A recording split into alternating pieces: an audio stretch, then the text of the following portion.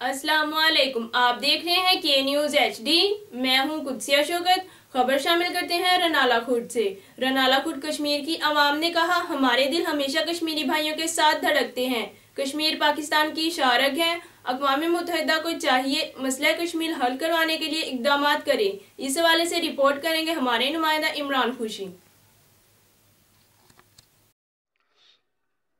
جی بالکل، میں اس وقت موجود ہوں رینالہ خورد محمدیہ قرآن انسٹیٹیوٹ میں۔ میرے ساتھ موجود ہیں محمدیہ قرآن انسٹیٹیوٹ کے ناظم اللہ حافظ محمد زبیر فروق آج ہم ان سے جانتے ہیں مسئلہ کشمیر کے حوالے سے۔ آپ تبدیلی سرکار کو کیا پیغام دینا چاہتے ہیں؟ جی سر۔ جی بسم اللہ الرحمن الرحیم۔ آج میں میڈیا کی وساطت سے یہ پیغام دینا چاہتا ہوں کہ اس وقت جو مقبوضہ کشمیر کی صورتحال ہے، اس کا ایک ہی حل ہے کہ اگر ہم چاہتے ہیں کہ کشمیر کو ہم ہندوستان سے آزاد کروائیں، تو ہمیں ایک امت بننا پڑے گا، ایک قوم بننا پڑے گا۔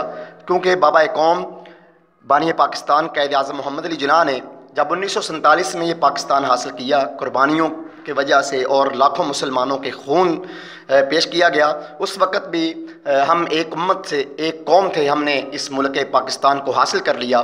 تو آج میرا یہ پیغام ہے پوری پاکستانی قوم کے نام کہ خدا را یہ وقت آپس میں لڑائی جھگڑے کا نہیں، اختلافات کا نہیں اور دھرنوں کا، جلوسوں کا، جلسوں کا نہیں ہے، بلکہ ایک پلیٹ فارم پر جمع ہونے کا، متحد ہونے کا ہماری صفوں میں اتحاد پیدا ہوگا تو انشاءاللہ ہماری شہر کشمیر بھی آزاد ہوگی اور ملک پاکستان بھی انشاءاللہ پورے عالم اسلام کی قیادت کرے گا انشاءاللہ۔